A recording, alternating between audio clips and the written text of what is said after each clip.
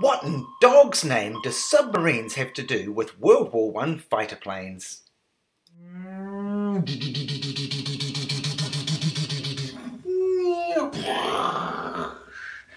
Hi, I'm Donovan Bixley, and these are some of the true tales behind my Flying Furballs books.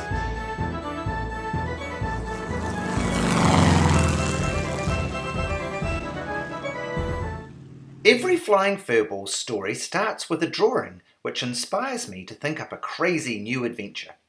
For Flying Furballs Book 6, Double Cross, I created this image of a dogfight around Big Ben Clock Tower in London.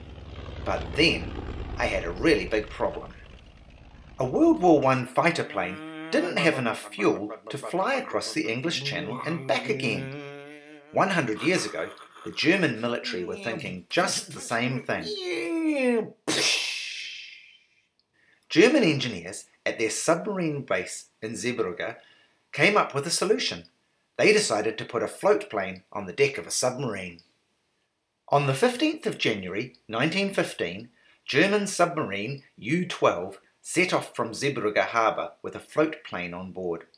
The plan was to motor across the English Channel and up the River Thames towards London. The float plane was supposed to take off, attack the city, before landing near the submarine and being taken back to Zeebrugge. This event was the inspiration for an exciting dogfight over London in Flying Furball 6 Double Cross. The idea of fighter planes buzzing low around London's famous landmarks during World War I may seem a little bit fanciful, but this scene is inspired by a real New Zealand pilot. Malcolm McGregor was one of New Zealand's top fighter aces in World War I, known as Mad Mac to his friends. After crashing his fighter plane in France, Mac was sent back to England to recover from his injuries. Afterward, he stayed on in England training new pilots. But teaching was super boring for someone like Mac.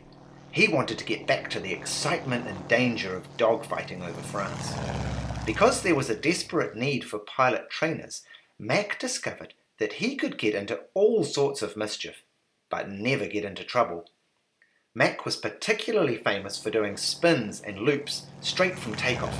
He buzzed low over double-decker buses, around bridges, and one time he flew through London, zooming up the River Thames so low that his wheels touched the water. He even buzzed the royal castle at Windsor, where a policeman on the ground took out his notebook and tried to get the plane's serial number. As for those U-boats, in reality, the German submarine aircraft carrier was a failure because the submarine couldn't go underwater and the aircraft was buffeted by rough seas. Eventually, the plan was abandoned after several trials.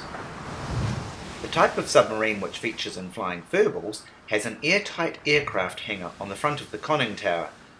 This was a real submarine, but it wasn't developed until 10 years after World War I. Soon navies all over the world gave up on submarine aircraft carriers. The whole idea was just barking bonkers.